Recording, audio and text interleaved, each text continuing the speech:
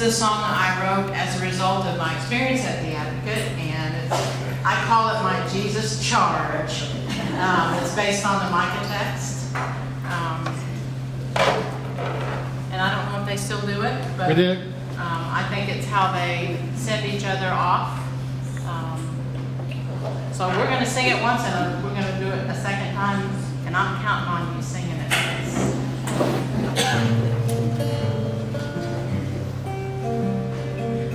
God has shown us, my friends, good. What does the Lord require of us but to do justice and to love kindness and to walk